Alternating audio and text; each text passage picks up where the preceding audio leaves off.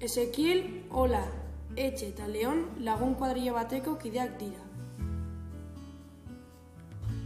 Baina adiskidetasuna ba aldago beti haien alde?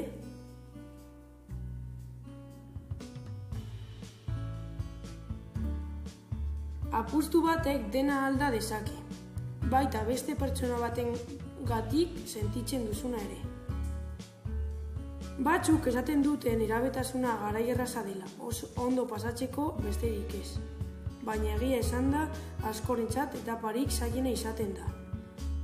Benetan betiko lagunak eta hien sekretuak hobeto ezagutzeko, gauza berriak ikasteko, eta batez ere, zuk, zeuk, no- nor izango zaren jakiteko garaia izango da.